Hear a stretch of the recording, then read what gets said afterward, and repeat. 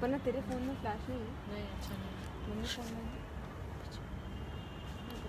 ನಮಸ್ತೆ ಸ್ನೇಹಿತರೆ ಇವತ್ತು ನಮಗೆ ಒಂದು ಚಂದಮಾಮನನ್ನ ನೋಡುವ ಒಂದು ಸದವಕಾಶ ಬಂದಿದೆ ಆತನ ಸ್ನಾನದ ಸಮಯ ಇದು ಚಂದಮಾಮ ಸ್ನಾನ ಮಾಡುವ ಸಮಯವನ್ನ ಗ್ರಹಣ ಅಂತ ಕರೀತಾರೆ ಗ್ರಹಣ. ನೋಡಿ. ಪೌರ್ಣಿಮೆಯ ದಿನ, ದಿನದಂದು ಚಂದ್ರಗ್ರಹಣ ಆಗುತ್ತೆ. ಅದರ ವರ್ಣನೆನ ನಾವು ಇವತ್ತು ತಿಳ್ಕೊಳ್ಳೋಣ. ತುಂಬ ಇಂಟ್ರೆಸ್ಟಿಂಗು ಇದು. ಇದು ಆಗಸದಲ್ಲಿ ಗ್ರಹಗಳ ಆಟ ಎಷ್ಟು ಸುಂದರ ನೋಡಿ. ನಿಮಗೆ ಇವತ್ತು, ಆ, ಚಂದ್ರನ ಮೋಡಿಯನ್ನು ತೋರಿಸ್ಬೇಕು ಅಂತ ಅನ್ನಿಸ್ತು. ನೋಡಿ ಇವನ ಜೊತೆ. ನೋಡಿ. ಚಂದ್ರಗ್ರಹಣ, ನೀವು ಅನ್ಕೋಬಹುದು ಇದೇನಿದು, ನಾವು ಮನೆ ಹತ್ರ ನೋಡ್ತಾ ಇದೀವಲ್ಲ ಅಂತ. ಇದಕ್ಕೊಂದು ಒಂದು ಸ್ವಲ್ಪ ಅರ್ಥ ಆಗೋ ಶೈಲಿಯಲ್ಲಿ ಅರ್ಥ ಮಾಡ್ಕೊಳ್ಳೋಣ. ಇದು ಚಂದ್ರ ತನ್ನದೇ ಆದ ಒಂದು ಟ್ರ್ಯಾಕ್ ಮೇಲೆ ನಡೀತಾ ಇರ್ತಾನೆ. ಭೂಮಿ ಕೂಡ ತನ್ನದೇ ಆದ ಒಂದು ಟ್ರ್ಯಾಕ್ ಅಲ್ಲಿ ಸೂರ್ಯನ ಸುತ್ತ ಸುತ್ತುತ್ತಾ ಇರುತ್ತೆ. ಇವೆರಡೂ ಸೂರ್ಯನ ಸುತ್ತ ಸುತ್ತುತ್ತೆ. ಇನ್ನು ವಿಜ್ಞಾನಕ್ಕಿಂತ ವಿಭಿನ್ನವಾಗಿ ಹೇಳೋದಾದರೆ ಸೂರ್ಯ ಕೂಡ ಯಾವುದೋ ಒಂದು ಕೇಂದ್ರದ ಸುತ್ತ ಸುತ್ತಾ ಇರ್ತಾನೆ. ಅದು ನಮಗೆ ಅಗೋಚರವಾಗಿರುತ್ತೆ. ಸೂರ್ಯ ತನ್ನ ಸಂಸಾರವನ್ನ ತಾನು ನಡೆಸ್ಕೊಂಡು ಸು- ಸೌರಮಂಡಲವನ್ನ ತಾನು ಕೂಡ ತನಗಿಂತ ಶಕ್ತಿಯುತವಾದ ಯಾವುದೋ ಒಂದು ಕೇಂದ್ರದ ಸುತ್ತ ಸುತ್ತಾ ಇರ್ತಾನೆ. ಅದಕ್ಕೆ ಗಣಪತಿಯನ್ನ ಕೋಟಿ ಸೂರ್ಯ ಸಮಪ್ರಭಾ ಅನ್ನೋದು. ಯಾಕಂದರೆ ಗಣಪತಿ ಸುತ್ತಲೂ ಕೋಟಿ ಸೂರ್ಯಗಳು ಸುತ್ತುತ್ತಾ ಇರುತ್ತೆ. ಅಲ್ವಾ? ಓಕೆ, ಈಗ ನಾವು ವಿಷಯಕ್ಕೆ ಬರೋಣ. ನೋಡಿ, ಇವಾಗ ಹತ್ತಿರದಿಂದ ನೋಡಿ. ಇವಾಗ ನೋಡಿ. ಈ ಚಂದ್ರನ ಹತ್ರ ಇನ್ನೊಂದು ಮೊಬೈಲ್ ಇಡ್ತಾ ಇದ್ದೀನಿ. ಮೇಲೆ ಚಂದ್ರ ಇದೆ. ಚಂದ್ರನ ಸುತ್ತ ಹತ್ರನೇ ಇದೊಂದು ಮೊಬೈಲ್ ಆ್ಯಪ್ ತುಂಬಾ ಚೆನ್ನಾಗಿದೆ. ಇದನ್ನ ಸ್ಕೈ ಮ್ಯಾಪ್ ಅಂತಾರೆ. ನೀವು ಹಾಕೋಬಹುದು ಇದರಲ್ಲಿ ನೋಡಿ ನಮಗೆ ಚಂದ್ರ ಕಾಣ್ತಾ ಇದ್ದಾನೆ. ಮೂನ್ ಅಂತ ಬರೆದಿದೆಯಲ್ಲ, ಅದೇ ಆಕ್ಸಿಸ್ ಅಲ್ಲಿ ಮೊಬೈಲ್ ಇಟ್ಟರೆ ಕಾಣ್ತಾನೆ. ಸ್ವಲ್ಪ ಮೇಲೋದ್ರೆ ಮೇಲೊಟ್ಟೋಗುತ್ತೆ. ಕೆಳಗೋದ್ರೆ ಕೆಳಗೊಟ್ಟೋಗುತ್ತೆ. ಮೂನ್ ಇರೋ ಜಾಗದಲ್ಲೇ ಕಾಣ್ತಾ ಇರುತ್ತೆ, ಅಲ್ವಾ? ಆ ಮೂನ್ ಹಿಂದ್ಗಡೆ ನೋಡಿ ಕ್ಯಾನ್ಸರ್ ಅಂತ ಬರೆದಿದೆ. ಅಂದ್ರೆ ಕರ್ಕಾಟಕ ರಾಶಿಯಲ್ಲಿ ಚಂದ್ರ ಇರುವಾಗ ಅದಕ್ಕೆ ತದ್ವಿರುದ್ಧವಾಗಿ, ನೋಡಿ, ಅದಕ್ಕೆ ತದ್ವಿರುದ್ಧವಾಗಿ ಈ ಕಡೆಗೆ ಬಂದ್ರೆ. ಹಾ, ಇಲ್ಲಿ. ಪೂರ ಒನ್ ಏಯ್ಟಿ ಡಿಗ್ರೀಸ್ ಅಲ್ಲಿ ಸೂರ್ಯ ಇದ್ದಾನೆ, ನೋಡಿ. ನೋಡಿ, ಸೂರ್ಯ ಮತ್ತೆ ವೀನಸ್, ಅಂದ್ರೆ ಶುಕ್ರ ಗ್ರಹ, ಅಂದ್ರೆ ಕೆಪ್ರಿಕಾ ಆನ್ ಕೆಪ್ರಿಕಾರ್ನ್ ಅಂತ, ಅಂದ್ರೆ ಕರ್ಕಾಟಕಕ್ಕೆ ಆಪೋಸಿಟ್ ಮಕರ ರಾಶಿಯಲ್ಲಿ ಸೂರ್ಯನಿರುವಾಗ ಚಂದ್ರಗ್ರಹಣ ಉಂಟಾಗತ್ತೆ. ಚಂದ್ರನಿಗೂ ಸೂರ್ಯನಿಗೂ ನಡುವೆ ನಾವಿಬ್ರು ನಿಂತಿದ್ದೀವಿ ಇವಾಗ. ಇದ್ರಲ್ಲೇ ಗೊತ್ತಾಗತ್ತೆ ನೋಡಿ. ಇಲ್ಲಿ ಸೂರ್ಯ ಕರೆಕ್ಟಾಗಿ ಒನ್ ಏಯ್ಟಿ ಡಿಗ್ರಿ ಈ ಕಡೆ ಬಂದ್ರೆ, ಇಲ್ಲಿ ಆಕಾಶದಲ್ಲಿ ಚಂದ್ರ ಕಾಣ್ತಾ ಇಲ್ಲ, ಅದ್ರ ಕೆಳಗಡೆ ಚಂದ್ರ. ಅಂದ್ರೆ ಕರೆಕ್ಟಾಗಿ ಒನ್ ಏಯ್ಟಿ ಡಿಗ್ರಿ ತಿಂದ್ರೆ ಇಲ್ಲಿ ಸೂರ್ಯ. ನೋಡಿ, ಸೂರ್ಯ ಸನ್ ಅಂದಂತ ಬರೆದಿದೆಯಲ್ಲ? ಕರೆಕ್ಟಾಗಿ ಒನ್ ಏಯ್ಟಿ ಡಿಗ್ರಿ ಎಲ್ಲ ರಾಶಿಗಳನ್ನು ದಾಟಿ ಈ ಕಡೆಗೆ ಬಂದರೆ ಒನ್ ಏಯ್ಟಿ ಡಿಗ್ರಿ ನೋಡಿ, ಚಂದ್ರ.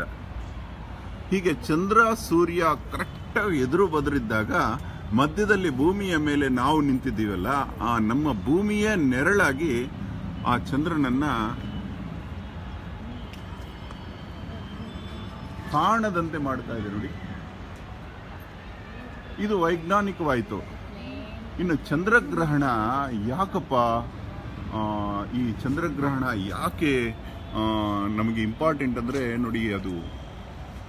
ಚಂದ್ರ ಸೋಮೋ ಭೂತ್ವ ರಸಾತ್ಮಕ ಅಂತಾರೆ. ಅಂದರೆ ಪುಷ್ಣಾಮಿ ಚೌಷಧಿ ಸರ್ವ ಸೋಮೋ ಭೂತ್ವ ರಸಾತ್ಮಕ ಅಂದ್ರೆ ಭೂಮಿಯ ಮೇಲಿರುವ ಎಲ್ಲ ಔಷಧಿಗಳು ಚ ಔಷಧಿ ಅಂದ್ರೆ ಪುಷ್ನಾಮಿ ಚ ಔಷಧಿ ಸರ್ವ ಸೋಮೋ ಭೂತ್ವಾ ರಸಾತ್ಮಕ. ಅಂದ್ರೆ ನಮ್ಮ ಭೂಮಿಯ ಮೇಲಿರುವ ಎಲ್ಲ ರಸಾತ್ಮಕವಾದ ಗಿಡ, ಮರ, ವನ, ಚರ ಎಲ್ಲ ಗಿಡಗಳಿಗೂ ಕಾರಣ ಸೋಮ ಅವನು, ಚಂದ್ರ. ಅವನಿಲ್ಲ ಅಂದ್ರೆ ನಮಗೆ ಗಿಡಗಳು ಇಲ್ಲ, ಮರಗಳು ಇಲ್ಲ. ಹರಿತ್ತುಗಳಿಲ್ಲ ವೆಜಿಟೇಬಲ್ಸ್ ಇಲ್ಲ, ತರಕಾರಿಗಳಿಲ್ಲ ಅಲ್ವಾ? ಹಾಗಾಗಿ ನಮ್ಮ ದವಸ ಧಾನ್ಯವೆಲ್ಲ ನೀರಸವಾಗಿಬಿಡುತ್ತಂತೆ. ಪಲ್ಸ್ ಅಂದರೆ ಯಾವಾಗಲೂ ಪಲ್ಸಸ್ ಅಂತ ಕರೀತಾರಲ್ಲ ಧಾನ್ಯಗಳನ್ನು, ಯಾವಾಗಲೂ ಅದರಲ್ಲಿ ನಮ್ಮ ಹೃದಯದ ರೀತಿ ಪಲ್ಸಸ್, ಪಲ್ಸ್ ಬರ್ತಾ ಇರುತ್ತೆ. ಅಂದರೆ ನಾಡಿ ಮಿಡಿತಾ ಇರುತ್ತೆ. ಆ ಎಲ್ಲ ಪಲ್ಸಸ್ಸು ಜೀವಂತವಾಗಿರೋದೇ ಚಂದ್ರನಿಂದನಂತೆ. ಆ ಚಂದ್ರನೇ ಆಕಾಶದಲ್ಲಿ ಕೆಲವು ಗಂಟೆಗಳು ಕಾಣದಾದಾಗ ಅವುಗಳ ಪಲ್ಸ್ ನಿಂತೋಗುತ್ತಂತೆ.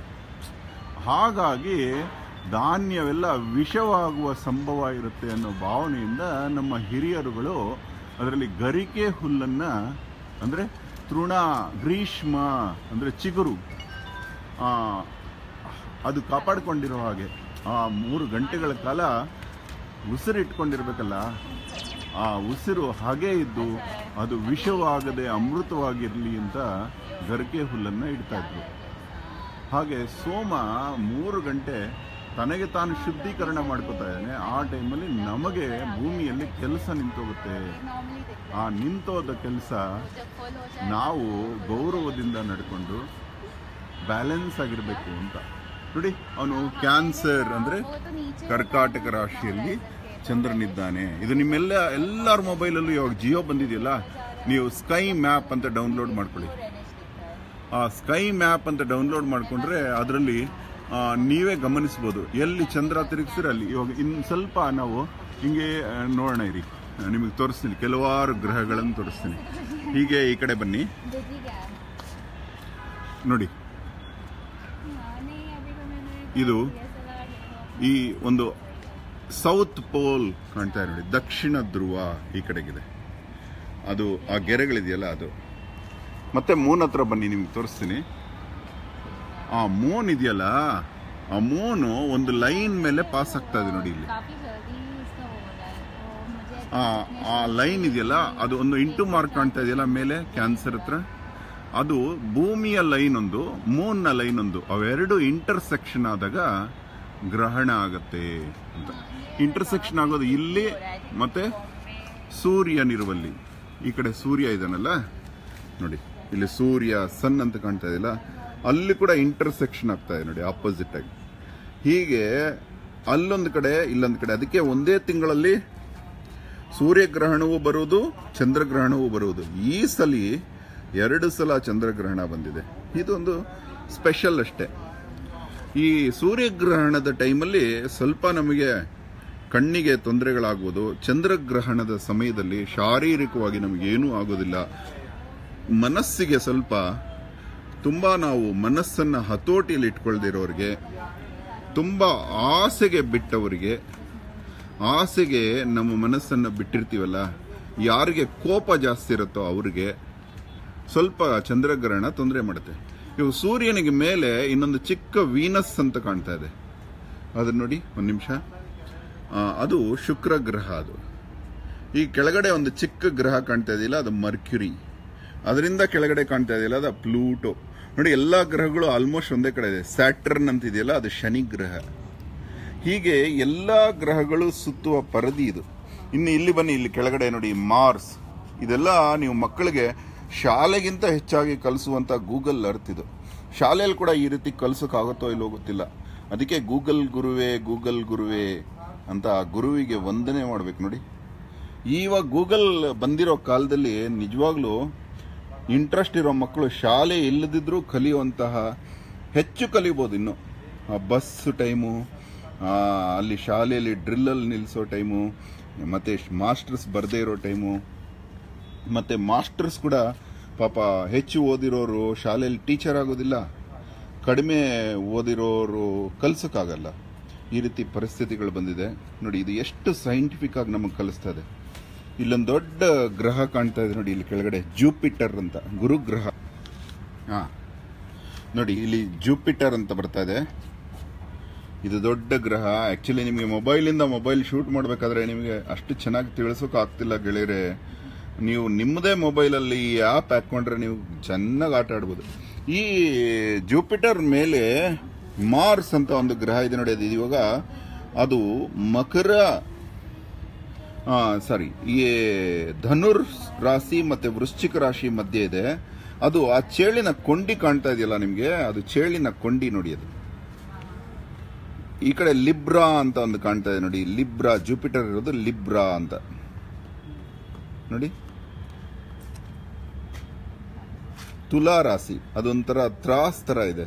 ಅದಾದ್ಮೇಲೆ ಈ ಇದು ಇದು ಚೇಳಿನ ಕೊಂಡಿ ತರ ಇದೆಯಲ್ಲ, ಅದು ವೃಶ್ಚಿಕ ರಾಶಿ, ಅದನ್ನು ವೃಶ್ಚಿಕ ಅಂದ್ರೆ ಚೇಳು. ಇಲ್ಲಿ ಚೇಳಿನ ಕೊಂಡಿ ಹಂಗೆ ಸುತ್ತಕೊಂಡು ಇಲ್ಲಿ ಮೇಲ್ ಬಂದಿದೆ ನೋಡಿ ಇಲ್ಲಿ. ಇಲ್ಲಿ. ಶೌಲ ಅಂತ. ಆ ಕೊಂಡಿಯ ಚಿಪ್ ಟಿಪ್ ಇದೆಯಲ್ಲ, ಅದೇ ಮೂಲ ನಕ್ಷತ್ರ. ಇದನ್ನ ನೀವು ಡೀಪ್ ಆಗಿ ಹೋದಷ್ಟು ತುಂಬಾ ಕಾಣುತ್ತೆ. ಇಲ್ಲಿ ಮೇಲ್ಗಡೆ ಶನಿ ಇದೆ ನೋಡಿ, ತುಂಬಾ ಚೆನ್ನಾಗಿದೆ ಶನಿ. ನೋಡಿ. ಅದು ಸ್ಯಾಜಿಟೋರಿಯಸ್ ಅಲ್ಲಿ ಇದೆ ಸ್ಯಾಜಿಟೇರಿಯಸ್ ಅಲ್ಲಿ ಪ್ಲೂಟೋ ಇದೆ ನೋಡಿ. ಮರ್ಕ್ಯುರಿ ಜ್ಯೋತಿಷ್ಯ ಅನ್ನುವುದು ಅಜ್ಞಾನವಲ್ಲ. ಅದೊಂದು ಅಸ್ಟ್ರಾನಮಿ ಅದನ್ನ ಅಸ್ಟ್ರಾನಮಿ ಅಂತ ವಿದೇಶಿಯರು ಕರೆಯೋಕ್ ಮುಂಚೆನೆ ಜ್ಯೋತಿರ್ವಿಜ್ಞಾನ ಅಂದ್ರೆ ಜ್ಯೋತಿಗಳ ಅಭ್ಯಾಸವನ್ನು ಜ್ಯೋತಿಷ್ಯ ಅಂತ ಕರೆದವರು. ಆರ್ಯಭಟ, ಭಾಸ್ಕರ, ಕಣಾದ ಮರೀಚಿ, ವಸಿಷ್ಠ, ಅಂಗೀರಸ, ಅತ್ರಿ, ಪುಲಸ್ತ್ಯ, ಪುಲಹ, ಕ್ರತು, ಇವರೆಲ್ಲ ಸೈಂಟ್ಸ್ ಅಷ್ಟೇ ಅಲ್ಲ ಸೈಂಟಿಸ್ಟ್ಸ್ ಆಗಿದ್ರು. ಇಲ್ಲಿ ನೆಫ್ಚೂನ್ ಇದೆ ನೋಡಿ, ಎಷ್ಟು ಚೆನ್ನಾಗಿದೆ. ಇಂದ್ರ, ವರುಣ, ಅಗ್ನಿ ಅಂತ ಕರೆದ್ರು ಅವುಗಳನ್ನು. ನೋಡಿ, ಇವೆಲ್ಲ ರಾಶಿಗಳು. ಯೂರಿನಸ್ ಇದೆ. ಇನ್ನು ಉತ್ತರ ದಿಕ್ಕಿನ ಕಡೆ ಹೋಗೋಣ ನೋಡಿ ಉತ್ತರ ದಿಕ್ಕಿದು, ಉತ್ತರ ದಿಕ್ಕಿನ ಈ ಕಾಣ್ತಾ ಇಲ್ಲ. ಉತ್ತರ ಧ್ರುವ ಅಂತ ಕರೀತಾರೆ ಇದನ್ನ.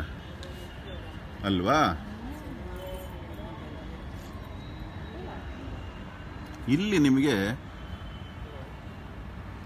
ಉತ್ತರ ಧ್ರುವದಲ್ಲಿ ಸಪ್ತರ್ಷಿ ಮಂಡಲ ಕಾಣುತ್ತೆ. ಇವನ್ನೆಲ್ಲ ನೀವು ರಾತ್ರಿ ಹೊತ್ತು ಹಳ್ಳಿಯ ಆಕಾಶದಲ್ಲಿ ಕಾಣುತ್ತೆ. ನಾವು ಚಿಕ್ಕ ವಯಸ್ಸಲ್ಲಿ ಹಳ್ಳಿಯಲ್ಲಿ ಇರಬೇಕಾದ್ರೆ ಹಳ್ಳಿಯಲ್ಲಿ ಆ, ಉಪ್ಪರಿಗೆಯ ಮೇಲೆ ಮಲ್ಕೋತಾ ಇದ್ವಿ, ಮನೆಯ ತಾರಸಿ ಮೇಲೆ ಮಲ್ಕೋತಾ ಇದ್ವಿ, ಅವಾಗ ನಕ್ಷತ್ರಗಳು ಕಾಣೋದು. ಅವಾಗ ಈ ಆ್ಯಪ್ ಇರಲಿಲ್ಲ. ಈ ಆ್ಯಪ್ ಇಲ್ಲದೆ ಇರೋದ್ರಿಂದ ಒಂದೊಂದು ನಕ್ಷತ್ರ ಪುಂಜವನ್ನು ನೋಡೋಕ್ಕೆ ನಾವು ಆರಾರು ತಿಂಗಳು ಕಾಯಬೇಕಾಗಿತ್ತು. ನೋಡಿ, ಇವೆಲ್ಲ ನಕ್ಷತ್ರ ಪುಂಜಗಳು. ಎಷ್ಟು ಚೆನ್ನಾಗಿದೆ ನೋಡಿ. ಇದಕ್ಕೆಲ್ಲ ಇಂಗ್ಲೀಷ್ ಹೆಸರುಗಳಿದೆಯಲ್ಲ, ಇದಕ್ಕಿಂತ ಹೆಚ್ಚಾಗಿ ನಮ್ಮ ಸಂಸ್ಕೃತದಲ್ಲಿ ಹೆಸರುಗಳಿದೆ ನಕ್ಷತ್ರಕ್ಕೆ. ನೋಡಿ, ಅಗ್ನಿ ವಿಜಯ ಸಾರಥಿ ಬ್ರಹ್ಮ ಹೃದಯ, ಎಲ್ಲ. ಕುಂತಿ ಪುಂಜ. ಇಲ್ಲಿ ನೋಡಿ ಸಪ್ತರ್ಷಿ ಮಂಡಲ ಕಾಣ್ತಾ ಇದೆ ಎಷ್ಟು ಚೆನ್ನಾಗಿ. ಮರೀಚಿ, ವಸಿಷ್ಠ, ಅಂಗೀರಸ, ಅತ್ರಿ, ಪುಲಸ್ತ್ಯ, ಪುಲಹ, ಕ್ರತು. ಆ ಕ್ರತುವಿನ ಅದೇ ಲೈನಲ್ಲಿ ಹೋದ್ರೆ ಧ್ರುವ ನಕ್ಷತ್ರ, ಅಲ್ಲಿ ಪೋಲಾರಿಸ್ ಅಂತಿದೆಯಲ್ಲ, ಧ್ರುವ ನಕ್ಷತ್ರ.